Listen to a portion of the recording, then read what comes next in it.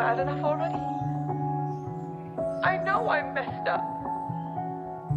But you're supposed to teach me how not to be. You know how. Stop waiting for life to be easy. Stop hoping for somebody to save you.